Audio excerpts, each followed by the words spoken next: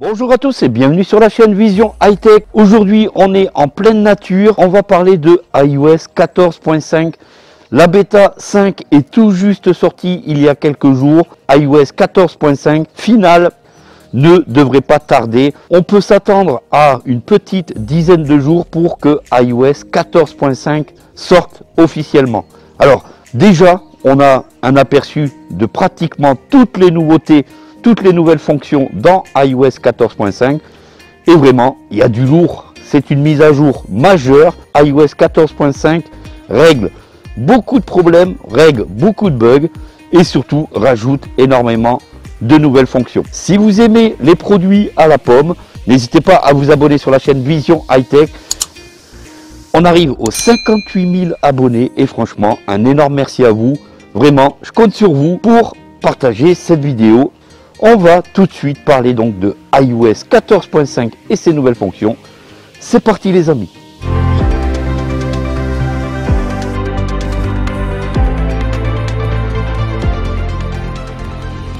Voilà, donc comme je vous ai dit, on est aujourd'hui, il fait beau, c'est le printemps, on est en pleine nature. Donc je voulais vous parler des nouvelles fonctions de iOS 14.5 qui va normalement faire son apparition dans quelques jours. Alors, une des plus grosses nouveautés que l'on va rencontrer sous iOS 14.5, ça va être, vous le voyez, j'ai un masque et on va être capable de déverrouiller son iPhone malgré son masque. Mais attention, pour cela, il faudra une option qui n'est pas négligeable. Il faudra donc avoir à son poignet une Apple Watch pour pouvoir bénéficier de cette fonction. Alors voilà, oui, comme vous pouvez voir ici, j'ai bel et bien mon iPhone qui est donc fermé, verrouillé. Et ici, pour déverrouiller mon iPhone par le biais de mon Apple Watch, il faudra donc l'avoir à son poignet. On ressent une petite vibration sur son poignet. Et on peut déverrouiller l'iPhone sans problème, malgré que l'on soit masqué. Alors comment ça se passe? Il faudra donc vous diriger dans Réglages, il faudra vous diriger dans Face ID et activer cette option dans Face ID. Donnez l'autorisation à votre Apple Watch de déverrouiller votre iPhone lorsque vous avez un masque. Alors attention, cela fonctionne seulement quand vous avez un masque. Et ça, regardez.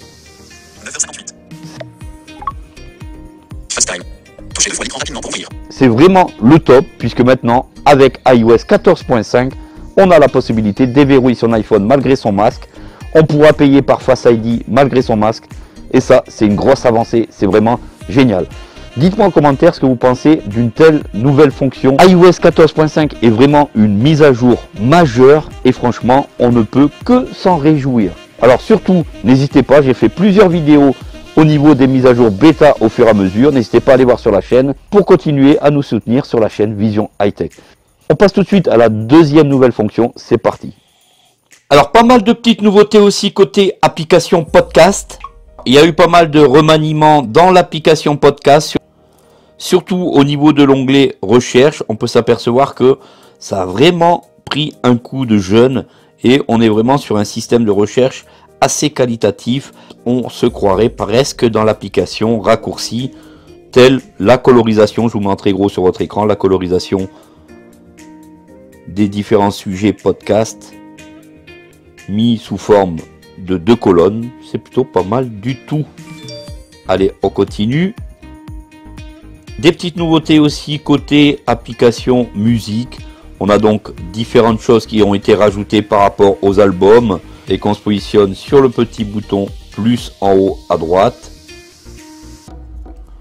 On a donc différentes fonctions qui apparaissent dans un menu déroulant. Voilà donc question musique, ça a plutôt pas mal changé aussi, quelques petites nouveautés esthétiques on va dire. Voilà donc c'est assez sympa.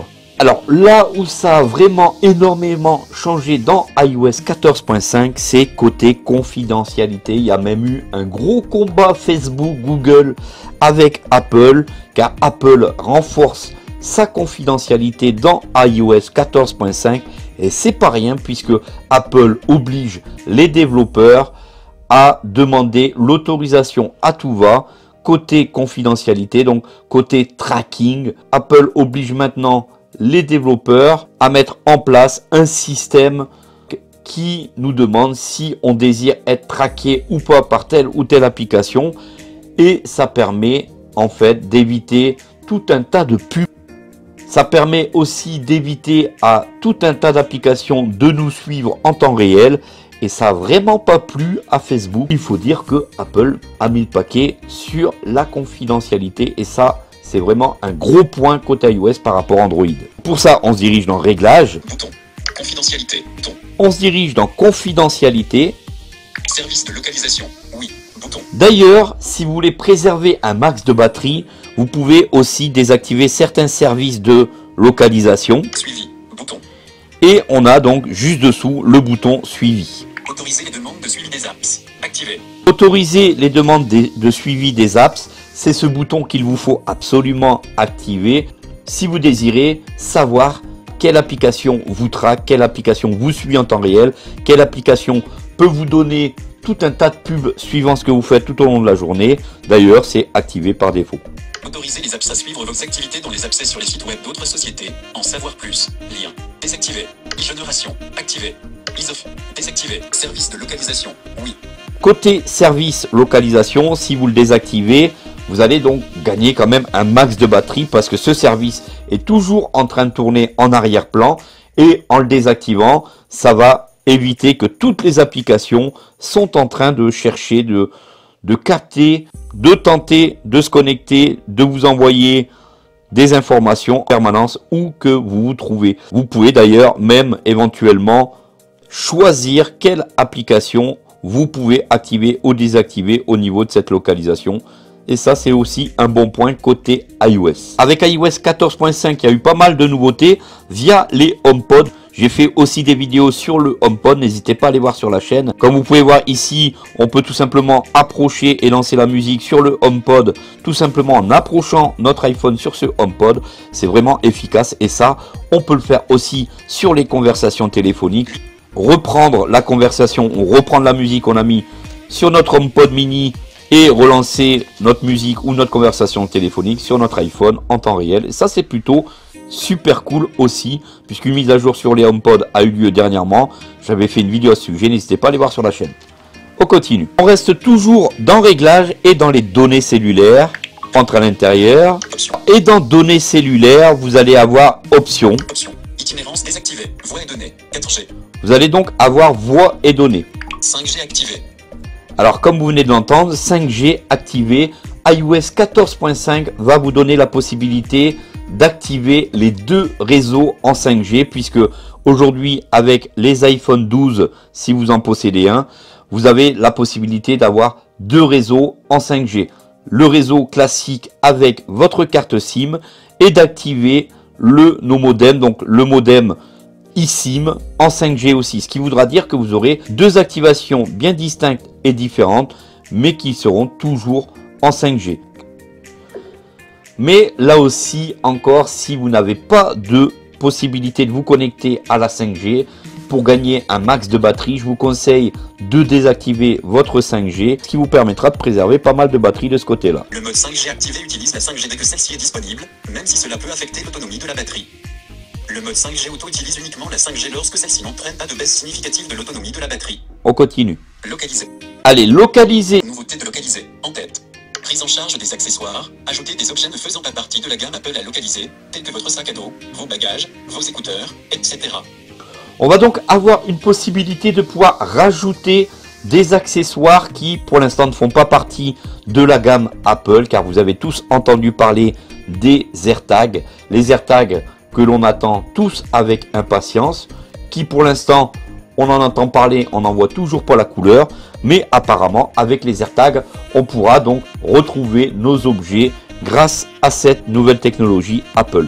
Mais pas que, puisque avec iOS 14.5, on a la, la, possibilité de rajouter des objets tels que des sacs à dos, tels des objets non ne faisant pas partie donc de la gamme Apple et ça c'est plutôt bon signe. Je pense là aussi aux personnes déficientes visuelles qui vont pouvoir repérer certains objets dans l'espace. Peut-être que cette solution va aider pas mal de gens à retrouver leur objet perdu. Notifications améliorées. Créer des notifications de position pour vos proches n'a jamais été aussi simple. Réseau localisé. Localiser des appareils sur un plan même lorsqu'ils ne sont pas connectés à un réseau Wi-Fi ou cellulaire. On pourra donc même par le biais de cette, de cette nouvelle technologie retrouver par exemple un iPhone, vos AirPods, se servir d'autres iPhones pour réussir à se faire localiser. Ça, c'est plutôt un bon point aussi, les amis. On pourra retrouver cet objet tout simplement grâce à notre iPhone. Et ça, c'est plutôt super cool aussi. Objet, alter, logo autre. Alter, pour rendre cet objet détectable, suivez les instructions du fabricant. Voilà, donc vous aurez donc toutes les informations à partir de l'objet à chercher, à partir de la notice du fabricant. Recherche d'objet.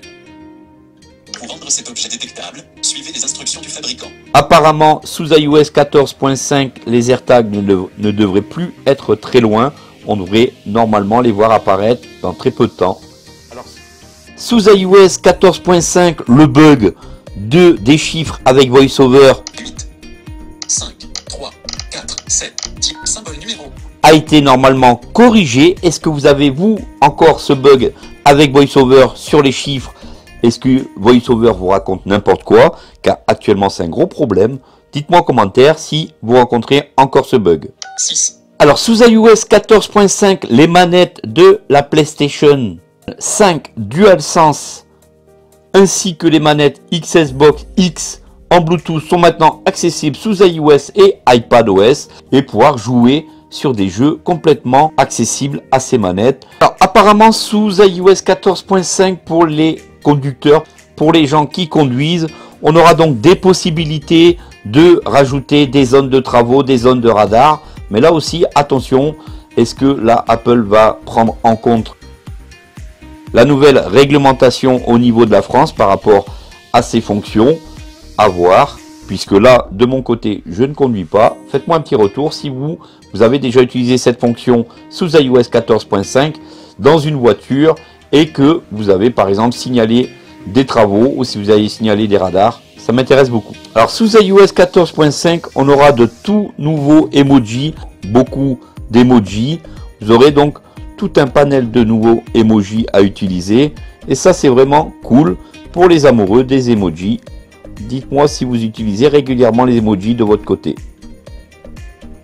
Sous iOS 14.5, on aura là aussi la possibilité via Siri de lancer nos meilleures musiques avec l'application que l'on utilise. Soit Apple Music, soit Deezer, soit Spotify. Vous n'aurez simplement à demander à Siri Écoutez Renault sur Deezer. Une petite seconde. Voilà Renault sur 10 heures. Vous allez pouvoir changer d'application comme vous le désirez, mais Siri peut lancer votre musique sur l'application sur laquelle vous êtes abonné. Et ça, c'est plutôt un bon point aussi. Alors pour l'instant, côté accessibilité, il y a eu tout un tas de corrections de bugs, pas vraiment de grosses nouveautés. Même côté contrôle vocal, on n'a toujours pas eu le français. Pourtant, on est arrivé à espagnol, Espagnol, Espagne. Espagnol, Mexique. espagnol Mexique, espagnol Espagne. Espagne, ça serait vraiment bien qu'on puisse l'avoir pour beaucoup de personnes en situation de handicap sous iOS. Merci Apple de faire le nécessaire rapidement s'il vous plaît. Donc comme vous l'avez compris, cette mise à jour iOS 14.5 est vraiment majeure, c'est vraiment une grosse mise à jour. J'espère que cette vidéo vous aura plu. Je vous ferai donc une mise à jour officielle le jour J. Donc n'hésitez pas à vous abonner à la chaîne pour continuer à suivre les vidéos Vision High Tech. Je vous embrasse, prenez soin de vous et surtout, on se dit à très vite pour une prochaine vidéo, nouvelle tech. Bisous à tous et à bientôt. Salut à tous.